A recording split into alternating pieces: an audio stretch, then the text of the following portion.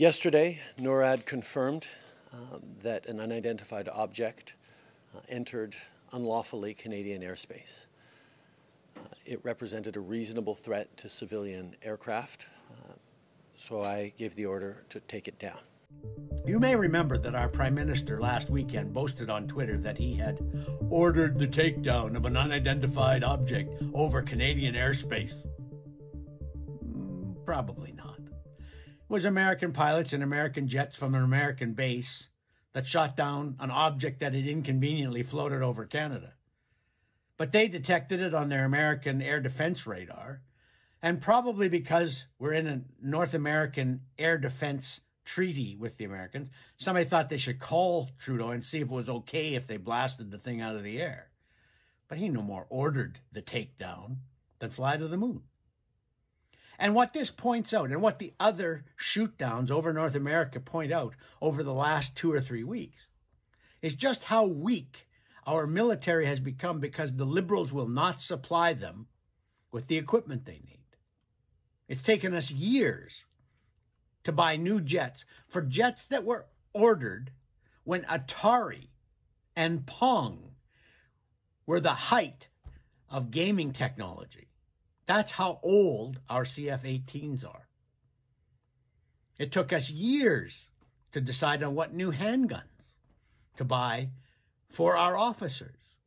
Our tanks are in such disrepair that when the Ukrainians came looking for a few to help them defend themselves against the Russians, out of the 100 that we technically own, we could only cobble together four that would function by cannibalizing the other ones for spare parts.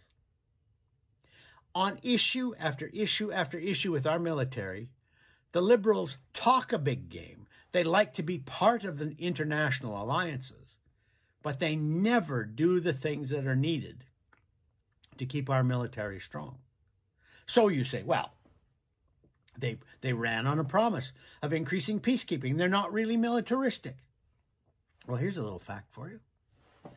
Since the Liberals came to power in 2015, we have been on exactly one peacekeeping mission. One. That was in Mali, in Africa. And as soon as our commitment was up, we bugged out. The United Nations asked us to stay longer. Nope, nope, nope. We have to leave.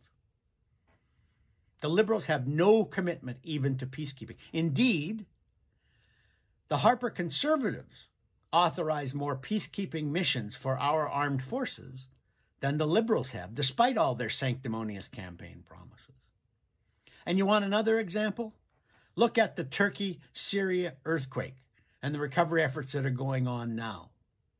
We have a fantastic emergency response team. It's called DART, Disaster Assistance Response Team. It has medical and engineering expertise. It has field hospitals, instant bridges. It has all sorts of equipment that can be taken into a disaster area and very quickly get medical attention to the people who are in need and help the countries rebuild their infrastructure, their power, their roads, their buildings. The Liberals won't send it. And indeed, since 2015, for more than seven years since the Liberals have been our government, they have never once deployed DART.